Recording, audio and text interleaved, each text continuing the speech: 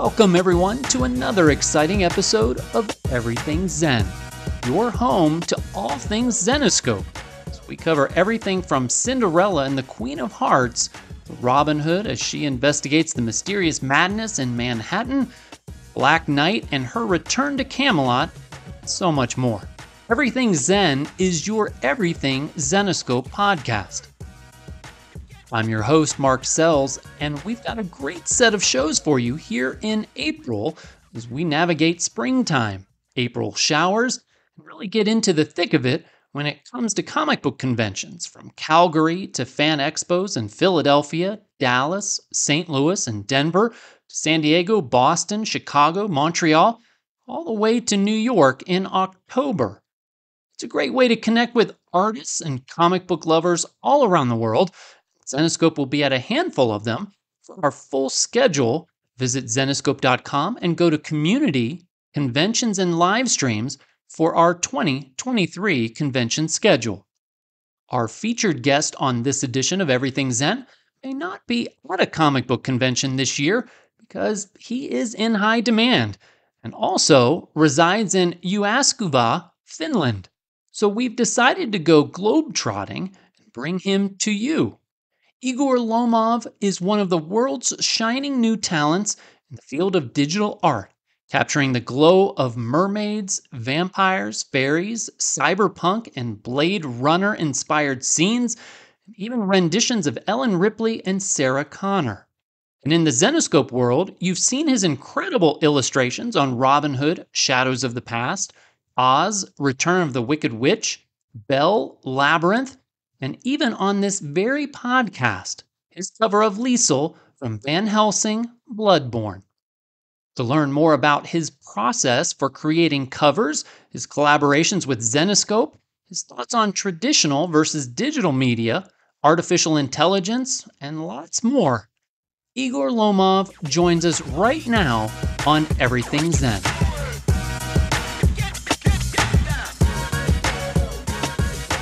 Today, we are happy to be joined by the talented Zenescope digital artist, illustrator, and designer, Igor Lomov.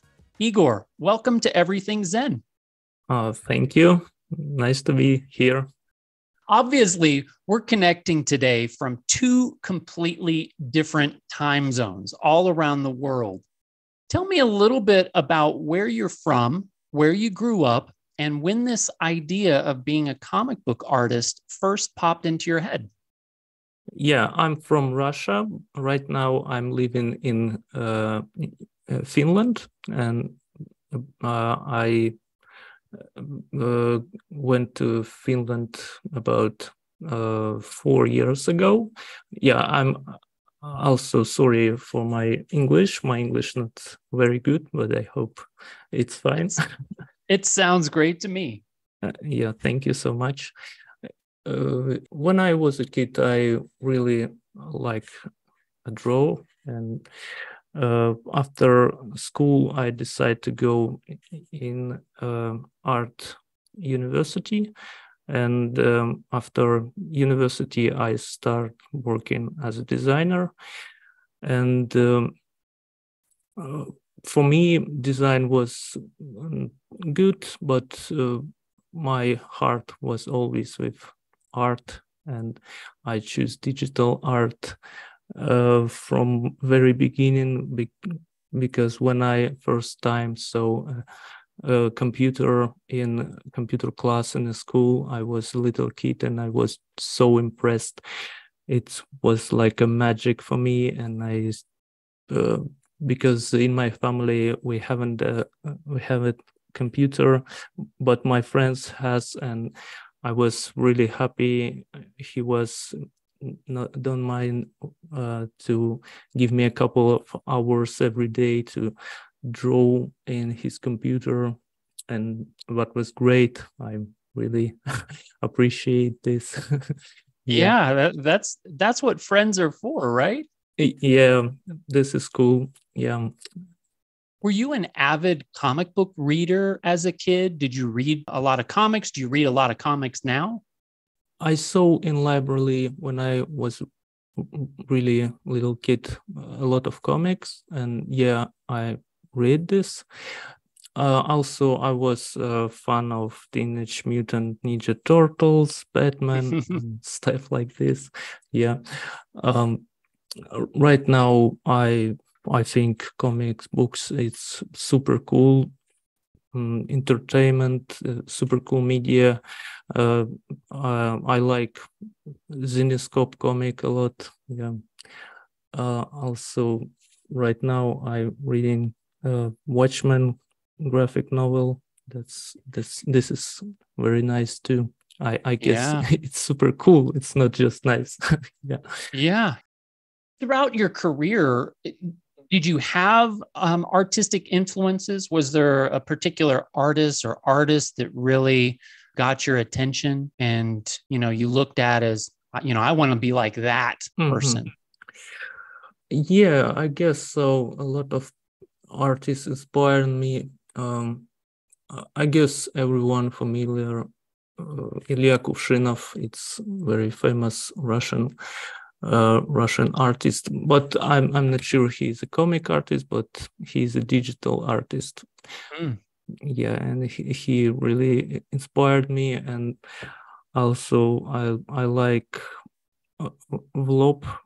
Maybe I'm spell uh, I pronounce it wrong, but it's very very cool uh, artist I find in Instagram and uh, also Loish, maybe you heard her name, um, and in Instagram and uh, on ArtStation, I follow a lot of super talented artists, and also uh, right now because uh, I draw in uh, comic covers, I also following a lot of comics artists, but I don't remember uh, all of the name, but all of them super cool. Yeah. Do you, do you follow any Zenescope artists?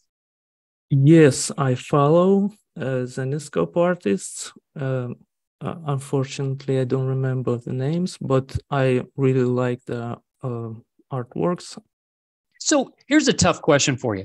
How would you describe your art to comic book fans? How is your art different from others? Hmm. It's interesting question. I, I'm focusing on uh, color decision a lot and light shadow light decision to maybe this this is a little bit different what I see from other artists. You hit on something I think very specific about about color because we're featuring your Van Helsing on this edition of Everything Zen, but Robin Hood Shadows of the Past is probably one of my favorite covers you, you've done for Zenescope thus far. Um, I love everything about it. Um, the composition and specifically the juxtaposition of color, that look she gives us with the moon sort of accenting and showing off the texture in her hood. It's really brilliant. Do you have a favorite cover you've done so far or one that you are most proud of? I really like Skye. Uh, you know, the character in the forest with the sword and m- magic. Uh, yeah. Pink, pink color magic. I, I like a lot how how I catch this mood. I guess uh, coloring and shadow light here. I really like how how I catch this. young. This podcast is sponsored by BetterHelp. Mental health affects so many variables in our day to day lives how we think, how we feel, and how we act. And it's important at every stage of life, from childhood through adulthood. Fortunately, to help us navigate all those waters and improve our emotional, psychological, and social well being, there's BetterHelp. It's all one word that's better, H E L P. At BetterHelp, you can tap into a network of over 25,000 licensed and experienced therapists who can help you with a wide range of issues, and it's 100% online. You just answer a few questions about your needs and preferences in therapy, That way, BetterHelp can match you with the right therapist from their network. Then, you can talk to your therapist however you feel comfortable, whether it's via text, chat, phone, or video call. And the best part, you can message your therapist at any time. Schedule live sessions when it's most convenient for you. And if your therapist isn't the right fit for any reason, you can switch to a new therapist at no additional charge. With BetterHelp, you get the same professionalism and quality you expect from in office therapy, but with a therapist who is custom picked just for you. More scheduling flexibility and at a more affordable price. Visit betterhelp.com forward slash Zenescope for 10% off your first month of therapy. With BetterHelp, get matched with a therapist who will listen and help you today.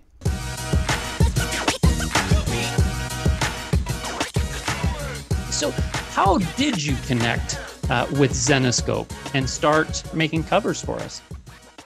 Oh, I guess it's a very regular story. Uh, one of uh, member from Zenescope just contact me and we start work together. Nothing special. Has your style of art changed over time? I hope so. My style changing changing in a good way, but I see how it's changed. Uh, from very beginning, I start drawing a little bit more cartoonish character, but right now I still want to draw uh, stylization in cartoonish way, but not such a um, such a cartoonish, you know, because uh, my first work was uh, inspired more mm, from anime or uh, Disney cartoons or stuff like this. But right now, I I hope I find something my in my style, and I wanna uh, develop in, on this direction more and more. And yeah, I also start using a lot of uh, different uh, brushes, different texture, different uh, everything because um, I work in more and I learn in more and I use computer as a tool, not as a you know a picture generator. And right. every tool, tool I learn more and more, it's now part of my style, I hope. What is your relationship like with Zenescope? Specifically, how much influence do you have in the final product, the layout, the colors, the character, the background? Yeah, uh, I guess one cover for me, mm, I work in on one color cover about 20 maybe hours I'm not sure, but I when I start, I um, I thinking about ideas and sketches about hours, maybe a couple of hours. It's most important stuff on on that, and if I decide something wrong in the very beginning, that's mean in the end this is will be a problem for me. And yeah i try to focus in on sketch as much as possible. Yeah. You know when i finish the sketch i already see the finished work. Uh, it's depend only how how much time after uh, from the sketch and to the finished work I spent. And, you know, in, in my imagination, I always see the result mm. on, on, on sketch, you know, and the saddest uh, for me it's very sad when I create few sketches and I need to draw only once, only one, and uh, Uh, I see few not bad work, but I I should do only one. right. You have to you have to let the others go. When you finish a piece, you know, I've talked to a lot of artists and the common saying, an artist's work is never done. Do you feel that way when you see one of your covers published? Do you see flaws in it or think, oh, I wish I had more time. I could have done this better. As an artist, you're working on deadlines. And so you don't have the luxury of having, you know, years to kind of perfect something. Do you see imperfections in your work or things that you would tweak after the fact? Um, I don't not don't think so. I see imperfection, but sometime after a year, maybe I can just come back and uh, look look at the same work, and I maybe I can decide maybe I can draw this area different way, but every time when I draw a covers, I never uh, show my uh, finished result if I'm not sure I'm I'm done with it because when when I draw I I always always feel, this moment when I see yeah that's it work is done. I don't want to add anything everything uh, in the correct place and incorrect incorrect um, I don't know uh, everything is ready right now and I don't want to add anything more because if work is done it, it's for me it's I just feel it you know it, it's not like I drop it because I'm tired or I don't want to uh, spend more time no I I always want to finish this work in, for real because I, I don't want to lie to myself. I just throw, I just uh, finish something without, you know, in in in not good condition, or I don't want to send unfinished unfinished cover. My my works always uh, for me looks done for 100% even if i uh, can find something I disagree right now, something I did a year ago. Mm, it, it still look like a finished artwork that's, for me. Yeah. Yeah, that's that's really good. That's really good. Not a lot of artists can do that, you know. I can I can tell you, for example, I redraw faces about three times before I really catch the real character um, emotion I want to show. Mm. You know, yeah. I for me, I can stop for, from first uh, try, right? But I, I see I can do better, and I do something to make it better. And even if I still see, okay, right now it's look good, but I still can do better. I I will do that. Yeah. Cinderella, Snow White, Red Riding Hood, Skye Mathers. What do they all have in common? They're some of the most popular fairy tales around. At Zenescope, we're celebrating fairy tales this month with a fairy tale virtual con. Friday, April 21st from 1 to 4:45 p.m and Saturday, April 22nd from 2 to 5:45 p.m., all times Eastern.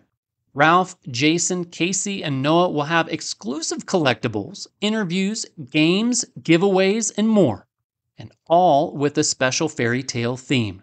That's Friday and Saturday, April 21st and 22nd.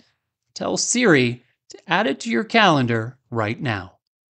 This month, it's Love, Loss, Lost Love, lost heads, and a lot of other lost things, including our serial killer princess's sanity. Cinderella goes up against the Queen of Hearts in the first of a brand new storyline. You want more heart? Carrie's is back in Grimm Tales of Terror Heart's Desire this month. A twisted tale about a piece of artwork that reveals a person's deepest desires. They could be good, but most likely, well, most definitely something a whole lot worse. Also releasing this month, Grimm Fairy Tales issue number 71 which has Skye and her team at Arcane Acre attempting to save humanity from the chaos brought about by the return of He Who Shall Not Be Named. You know who I'm talking about. Don't miss a single story as new releases drop every Wednesday on Zenescope.com. You know, the first rule of Fight Club is you do not talk about Fight Club. Second rule of Fight Club is you do not talk about Fight Club. So, what are Ralph, Brian, Marilyn, Casey, Noah, and the gang going to do on Thursday, April 27th? Of course, they're going to talk about Fight Club, our April Movie Club movie of the month. So, get your boxing gloves out, hop on YouTube to learn how to make soap like Brad Pitt and Ed Norton. And don't forget a cup of Starbucks coffee. Why? Well, David Fincher has stated that there's at least one Starbucks cup in every single shot in Fight Club. Will soap or coffee make it into Sun Kumanaki's Movie Club collectibles? You'll have to wait and see. Thursday, April 27th, live on Facebook and YouTube.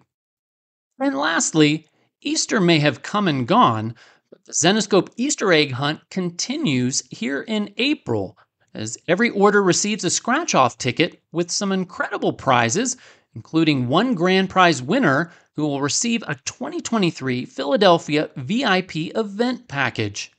No purchase is necessary, and only one free entry will be awarded per household. That's the Zenescope Easter egg hunt, where every scratch off ticket is a winner.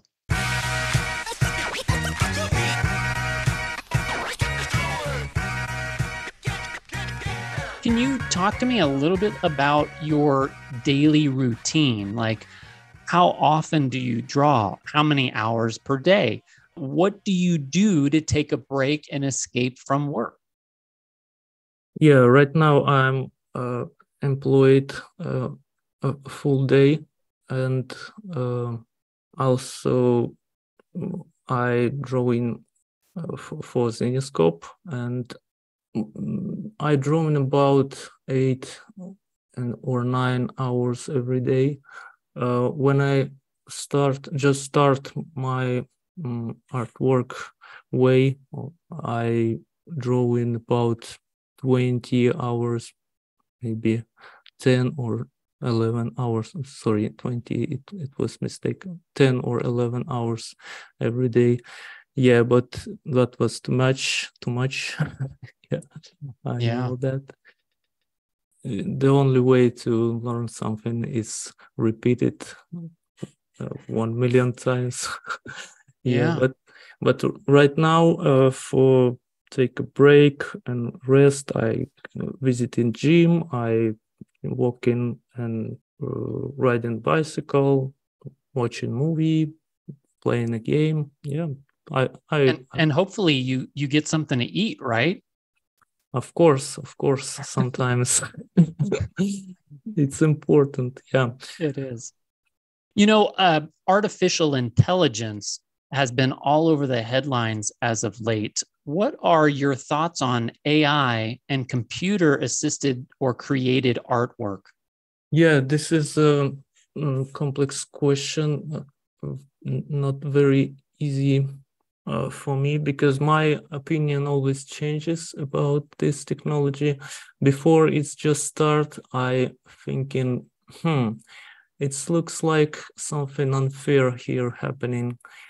But if AI uh, learning uh, his know, way to drawing um, by using base database uh, for example, if artists in some kind of resource said, yes, we agree to learn AI, and they signed or click this on the site, I'm agree about this way to using AI in art.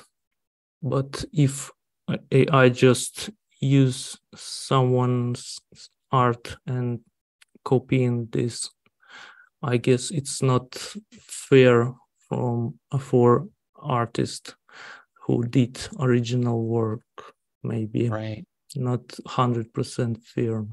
But this is very powerful tool. I hope uh, very soon we find a solution how to use it in the right way and how it will work for everyone because if uh, uh, if someone made a real original good art and ai without his permission just copy it that i disagree. It's not not good. It's not good. Yeah. What work do you have coming up that you're most excited about? Inside or out of zenescope what are you currently working on yeah, uh, right now I work in uh, game industry uh, and as an artist, and uh, unfortunately I can't uh, tell you more about this. All of, all of this project I'm working on, um, maybe after a few years we we can show everything. But I can tell you about Zenescope, uh, what I'm working right now. It's um, a character, uh, her name is Sela. Uh, I believe she's um, based on Snow Snow White's look. Uh, this is very curious and powerful character, and I draw right now very dynamic pose how this character fights in the forest against uh, uh, the crumbling castle. I hope that will be not bad. Very soon yeah. we show it. Well igor thank you so much for connecting with us today. And of course all the amazing art that you've done and continue to do for us. We are so grateful to have you in the Zenescope family. Thank you. Thank you so much. Thank you. Appreciate it. If you'd like to see more of Igor Lomov's work, follow him on Instagram. His handle is BLIK underscore 47. That's B as in boy, L as in Larry, I as in independent, K as in kangaroo, underscore 4 7. He's also on artstation.com under the same moniker. And of course, you can do a search on Igor Lomov on zenescope.com and check out all of his amazing Zenescope covers, as well as some metal cards, bookmarks, and lots more. And that'll wrap up this edition of Everything Zen. I'm your host, Mark Sells. Thank you so much for listening. William Shakespeare once wrote, April hath put a spirit of youth in everything.